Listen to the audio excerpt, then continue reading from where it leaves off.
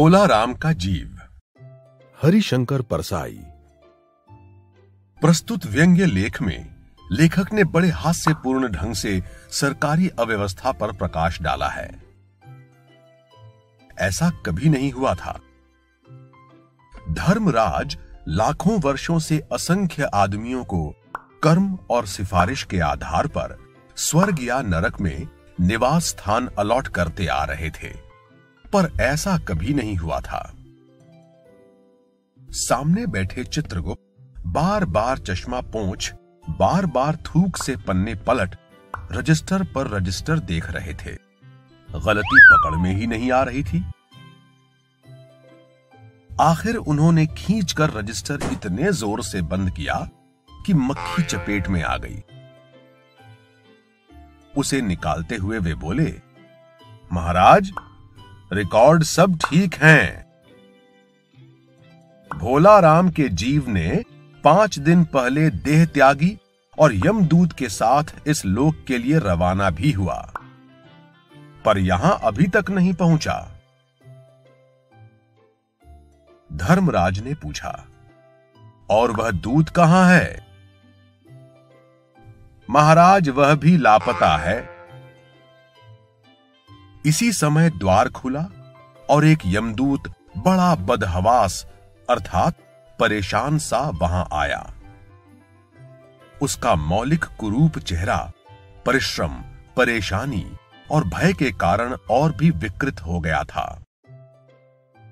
उसे देखते ही चित्रगुप्त चिल्ला उठे। अरे, तू कहाँ रहा इतने दिन? भोला राम का जीव कहाँ है? यमदूत हाथ जोड़कर बोला, दया निधान, मैं कैसे बतलाऊं कि क्या हो गया? आज तक मैंने धोखा नहीं खाया था, पर भोला राम का जीव मुझे चकमा दे गया। पाँच दिन पहले, जब जीव ने भोला राम की देह को त्यागा, तब मैंने उसे पकड़ा और इस लोक की यात्रा आरंभ की। नगर के बाहर ज्यों ही मैं उसे लेकर एक तीव्र वायु तरंग पर सवार हुआ, त्यों ही वह मेरे चंगुल से छूटकर न जाने कहाँ गायब हो गया। इन पाँच दिनों में मैंने सारा ब्रह्मांड छान डाला, पर उसका कहीं पता नहीं चला। धर्मराज क्रोध से बोले, मूर्ख, जीवों को लाते लाते बूढ़ा हो गया फिर भी एक मामूली बूढ़े आदमी के जीव ने तुझे चकमा दे दिया? दूत ने सिर झुकाकर कहा, महाराज, मेरी सावधानी में बिल्कुल कसर नहीं थी। मेरे इन अभ्यस्त हाथों से अच्छे अच्छे वकील भी नहीं छूट सके। पर इस बार तो कोई इंद्रजाल ही हो गया। इंद्रजाल का अर्थ है जादू या इल्यूजन चित्रगुप्त ने कहा, महाराज, आजकल पृथ्वी पर इस प्रकार का व्यापार बहुत चल रहा है। लोग दोस्तों को कुछ चीज़ें भेजते हैं और उसे रास्ते में ही रेलवे वाले उड़ा लेते हैं। हौजरी के पार्सलों के मोजे रेलवे अफसर पहनते हैं। मालगाड़ी के डब्बे के डब्बे रास्ते में कट जाते हैं।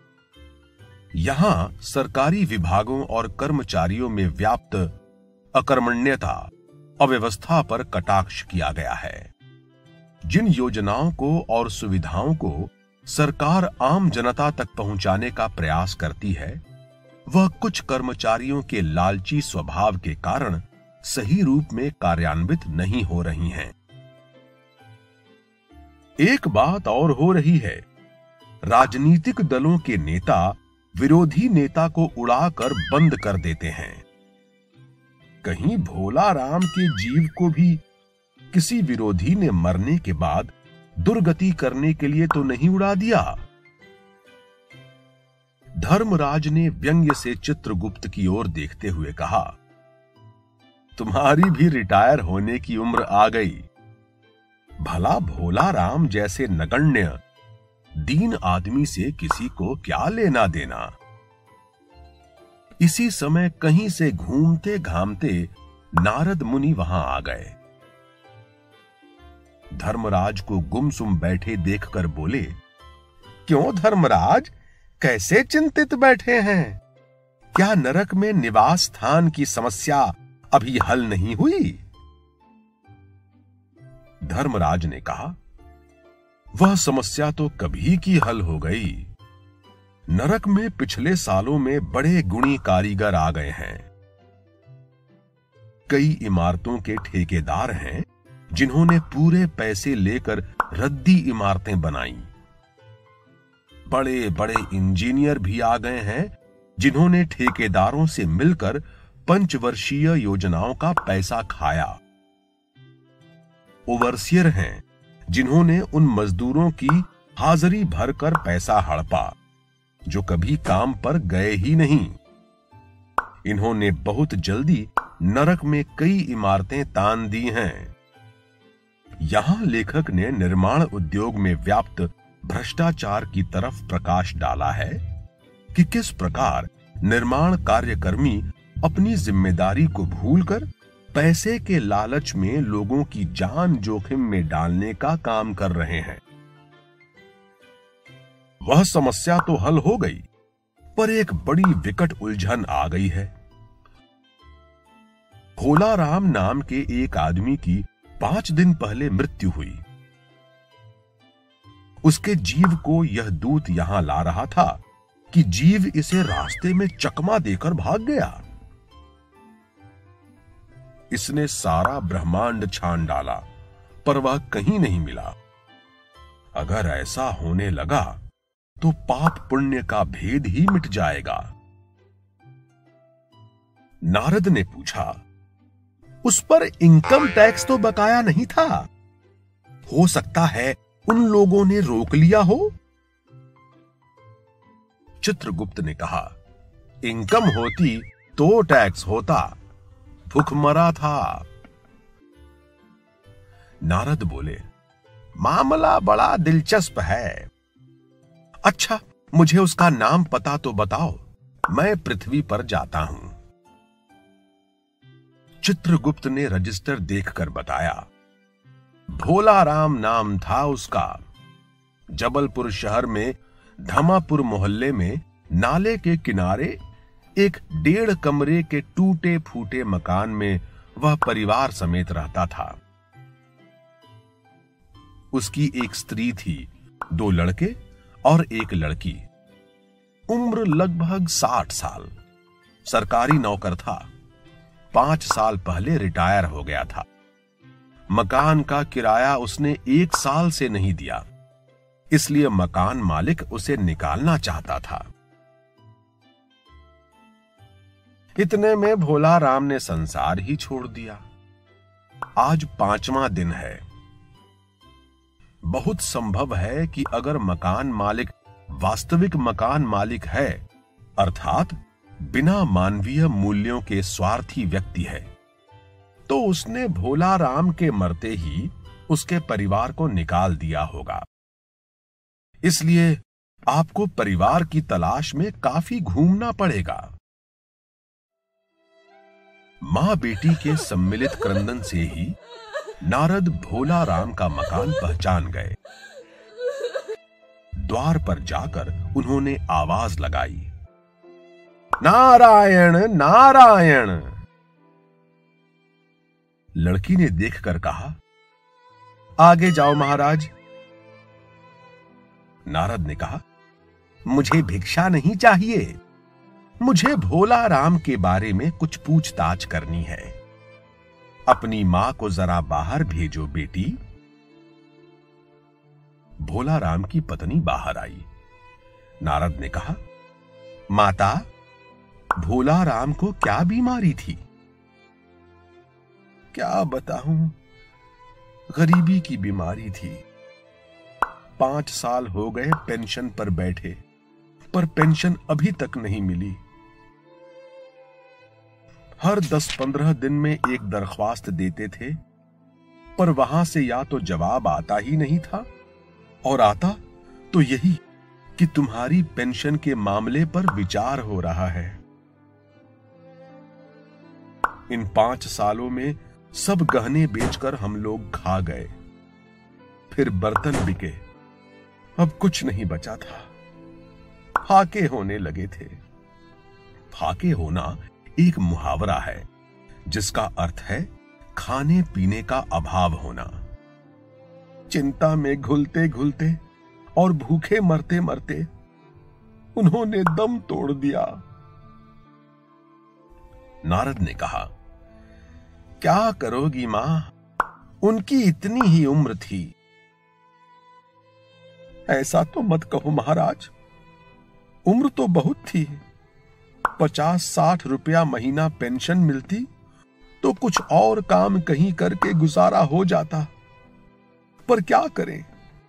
पाँच साल नौकरी से बैठे हो गए, और अभी तक एक कौड़ी नहीं मिली। दुख की कथा सुनने की फुर्सत नारद को थी नहीं। वे अपने मुद्दे पर आए। माँ, यह तो बताओ कि यहाँ किसी से उनका विशेष प्रेम था, जिसमें उनका जी लगा हो? पत्नी बोली, लगाव तो महाराज बाल बच्चों से ही होता है। नहीं, परिवार के बाहर भी हो सकता है। मेरा मतलब है, किसी स्त्री स्त्री ने हुर्रा कर नारद की ओर देखा। बोली अब कुछ मत बको महाराज। तुम साधु हो, उचक्के नहीं हो। ज़िंदगी भर उन्होंने किसी दूसरी स्त्री को आँख उठाकर भी नहीं देखा। नारद हंसकर बोले, हाँ, तुम्हारा यह सोचना ठीक ही है। यही हर अच्छी गृहस्थी का आधार है। अच्छा माता, मैं चला। स्त्री ने कहा महाराज, आप तो साधु हैं, सिद्ध पुरुष हैं। कुछ ऐसा नहीं कर सकते कि उनकी रुकी हुई पेंशन मिल जाए, इन बच्चों का पेट कुछ दिन भर जाए। नारद को दया आ गई थी।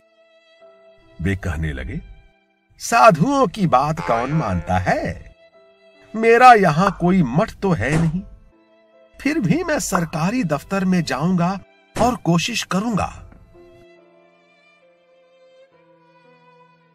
वहाँ से चलकर नारद सरकारी दफ्तर में पहुँचे।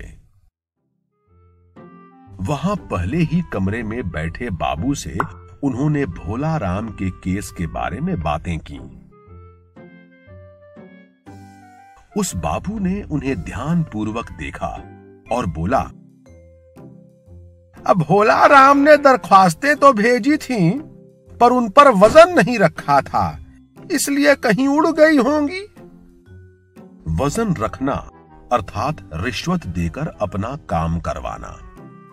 यहाँ पर सरकारी दफ्तरों में चलने वाली रिश्वतखोरी पर रोशनी डाली गई है। नारद ने कहा, भाई, ये बहुत से पेपर वेट तो रखे हैं। इन्हें क्यों नहीं रख दिया? बाबू हंसा। आप साधु हैं। आपको दुनियादारी समझ में नहीं आती। दरख्वास्तें पेपर वेट से नहीं दबती। खैर, आप उस सामने के कमरे में बैठे बाबू से मिलिए। नारद उस बाबू के पास गए। उसने तीसरे के पास भेजा। तीसरे ने चौथे के पास, चौथे ने पाँचवें के पास। जब नारद 25-30 बाबुओं और अफसरों के पास घूम आए, तब एक चपरासी ने कहा, महाराज, आप क्यों इस झंझट में पड़ गए? आप अगर साल भर भी यहाँ चक्कर लगाते रहे तो भी काम नहीं होगा। आप तो सीधे बड़े साहब से मिलिए। उन्हें खुश कर दिया तो अभी काम हो जाएगा। नारद बड़े साहब के कमरे में पहुँचे। बाहर चपरासी ऊंघ रहा था, इसलिए उन्हें किसी ने छेड़ा नहीं। बिना विजिटिंग कार्ड के आया देख साहब बड़े नाराज़ हुए। बोले, इसे कोई मंदिर वंदिर समझ लिया है क्या? धड़धड़ाते चले आए? चिट क्यों नहीं भेजी? नारद ने कहा कैसे भेजता? चपरासी सो रहा है। क्या काम है? साहब ने रोब से पूछा। नारद ने भोला राम का पेंशन केस बतलाया। साहब बोले आप हैं वैरागी। दफ्तरों के रीति रिवाज नहीं जानते। असल में भोला राम ने गलती की। भाई यह भी एक मंदिर है। यहाँ भी दान पुण्य करना पड़ता है। आप भोला राम के आत्मीय मालूम होते हैं। भोला राम की दरख्वास्तें उड़ रही हैं। उन पर वज़न रखिए। नारद ने सोचा, फिर यहाँ वज़न की समस्या खड़ी हो गई। साहब बोले, भाई, सरकारी पैसे का मामला है। पेंशन का केस बीसों दफ्तरों में जाता है। देर लग ही जाती है। बीसों बार एक ही बात को बीस जगह लिखना पड़ता है, तब पक्की होती है। जितनी पेंशन मिलती है, उतने की स्टेशनरी लग जाती है। हाँ, जल्दी भी हो सकता है, मगर साहब रुके। नारद ने कहा, मगर क्या? साहब ने कुटिल मुस्कान के साथ कहा, मगर वज़न चाहिए। आप समझे नहीं। जैसे आपकी यह सुंदर वीणा है, इसका भी वज़न भोला राम की दरख्वास्त पर रखा जा सकता है। मेरी लड़की गाना बजाना सीखती है। यह मैं उसे दे दूँगा। साधु संतों की वीणा से तो और अच्छे स्वर निकलते हैं। नारद अपनी वीणा छिनते देख जरा घबराए।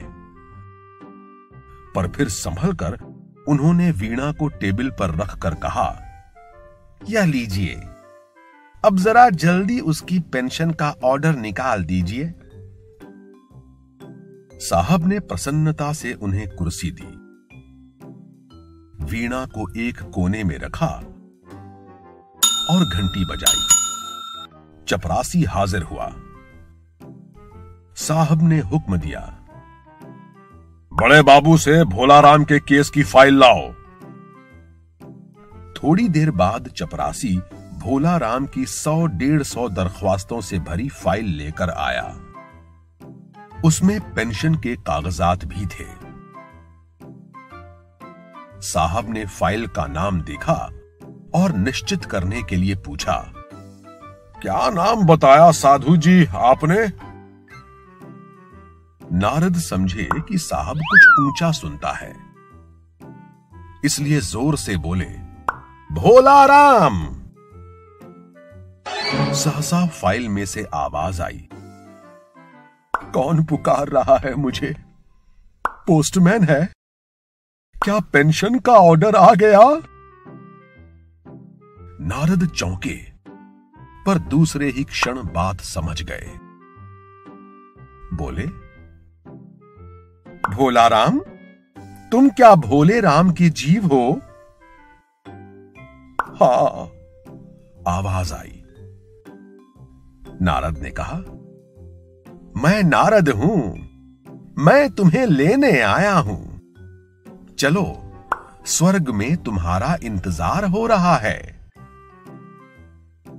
आवाज़ आई, मुझे नहीं जाना। मैं तो पेंशन की दरख्वास्तों में अटका हूँ। यही मेरा मन लगा है।